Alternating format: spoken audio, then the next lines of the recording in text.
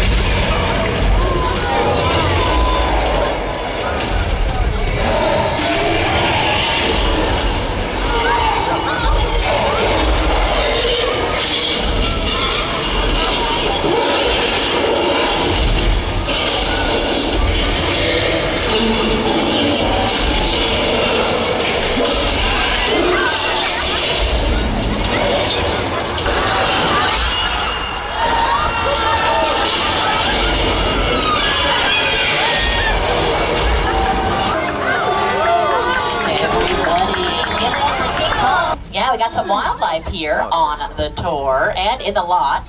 They usually leave us alone, but I know. You're distracting from these picture cars, Coyote. Look at these great cars to your left. We got a Transformer, Bumblebee. Over to your left, some classic Back to the Future cars. It is still watching us. Huh. We got some prehistoric Flintstone cars. Now, these are fun, but not very practical. These Flintstone cars don't have any engines. They had to be pulled along on set by a cable, making it look like the Flintstones run those cars with their feet. We got the gyrosphere from Jurassic World, a van and a boat from Jordan Peele movies, Nope and Us. And check out this Bradley fighting vehicle. Looks like a tank. On the outside, that's really just plywood, painted to look like steel and iron. Makes that vehicle a lot lighter, a lot easier to move around the set compared to an actual war vehicle. But do not take that into battle, because it will not put up much of a fight. Oh, that is not. What's that noise? Ha, ha.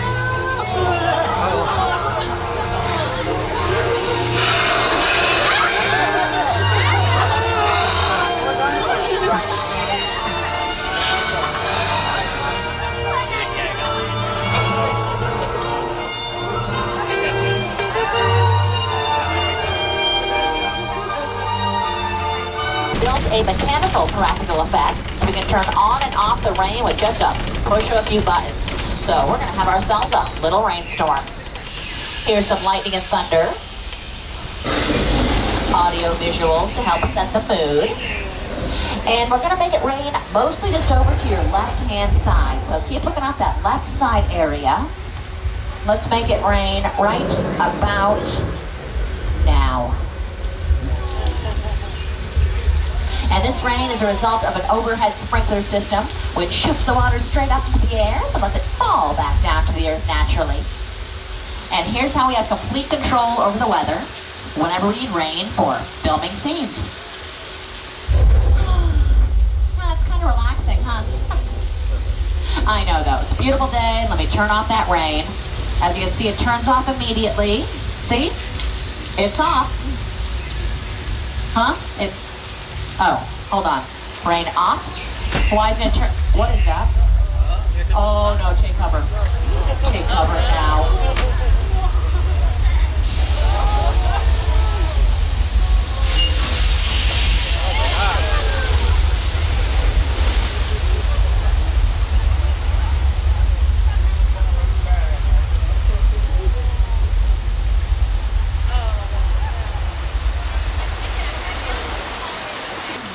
call that in. I know we had a dropped item, but not safe to get out here, so we'll call that in. So we'll be able to come and pick that up. So hang tight. But hey, Oh, that whole dropped the special effect. A lot of famous cowboys, actors, directors have filmed here. A few years ago, director Quentin Tarantino was here filming Once Upon a Time in Hollywood. They did a big yeah. scene with Leonardo DiCaprio, put a lot of dirt down on this concrete road, made it look like the dusty old West was back in action. Steven Spielberg filmed here for his films The Color Purple as well as Amistad. And we feel pretty close to the hit sound stages of The Voice. If you're fans of The Voice, they film in stages 30 and 31 to your left. That's where the big stage is set up. They're in the middle of filming season 24, so that's pretty exciting. Genovia and Princess Diaries 2, a royal engagement. I know. Royalty. Another Disney movie, Cinderella, with Brandy and Whitney Houston. It's possible. So much royalty right here. And also a whole lot of history. Now, our classic monster movies of the 1930s Dracula, The Invisible Man, Frankenstein. It's been just over a hundred years since The Hunchback of Notre Dame, filmed right here on these sets with silent film star Lon Chaney. So these sets go back over a century. Back in the 1930s, this whole area swarming with these classic monsters. When you think of the universe, what do you think of monsters? Dracula, Frankenstein, Wolfman, Bride of Frankenstein. The Mummy. The Hunchback of Notre Dame. Take a look around. Now, personally, I love it here. It's my happy place. Nothing ever bad ever happens. So uh, just remain seated, though, as we make our way across the dock. Wait, what is that? There's a, uh, there's something in the water. That's a fin. You see that? There's, that's a shark fin. Is someone out there?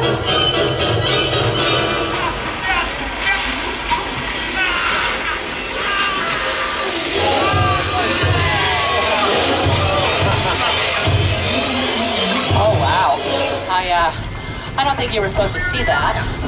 Please disregard what you have just seen. We'll continue on with our tour. Everything is fine. Wait, why is the pier moving? Uh-oh.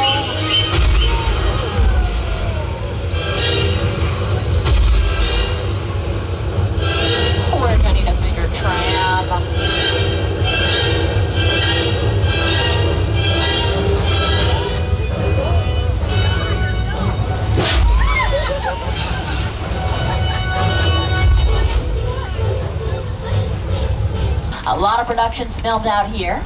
This beige and white house to your left, Jimmy Stewart lived there, the 1950s film Harvey. This purple house with the porch, that was 1313 Mockingbird Lane in the Munsters. Yellow and Stone House, if you are fans of Never Have I Ever on Netflix, that is where Devi and her family live. They filmed out here for all four seasons, really took over this whole area for the hit Netflix show. And as you can see, it looks pretty realistic.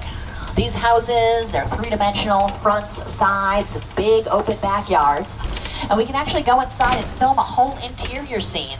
It's big enough for the actors to spread out, really create a scene. Big enough for the camera crew to fit in there. So we can do big rooms, family dinners, kids doing homework inside. And then come out here and do all the outdoor scenes, riding bikes, mowing the lawn. And it saves a whole lot of time when we can do all the filming in one location instead of switching to inside of a soundstage, even though it's right on our front lot. They did that a lot for the show Ted. It's going to be a Boston neighborhood in the upcoming show. And they did that for Desperate Housewives. Still looks a whole lot like Wisteria Lane. There is one thing everyone in suburbia can appreciate. It's a good neighbor.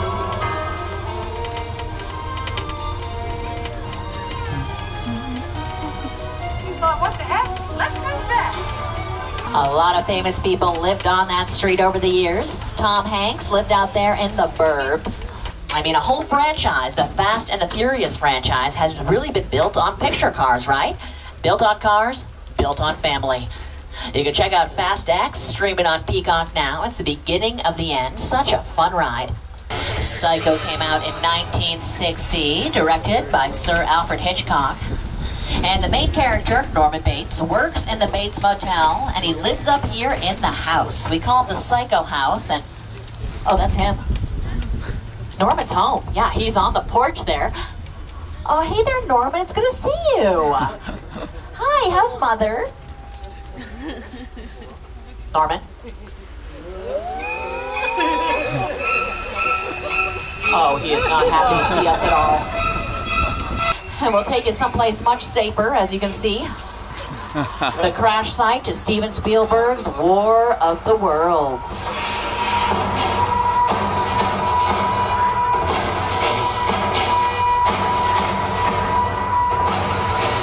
Believe it or not, this is an actual 747 Boeing aircraft, weighing in at over 375,000 pounds. And it's where Tom Cruise's character hides out.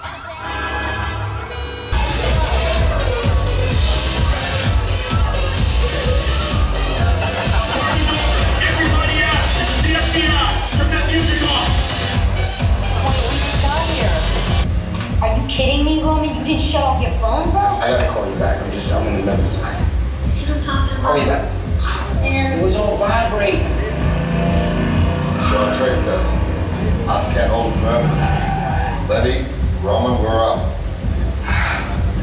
Driver, move that vehicle. You got it, Tom. It's about to get real interesting.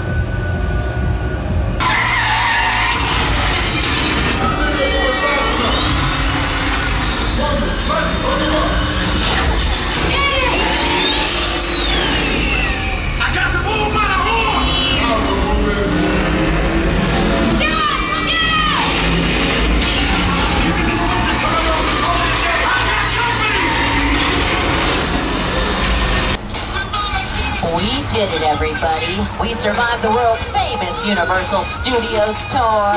Give yourselves a big round of applause. Could not have done it without each and every one of you. Well done.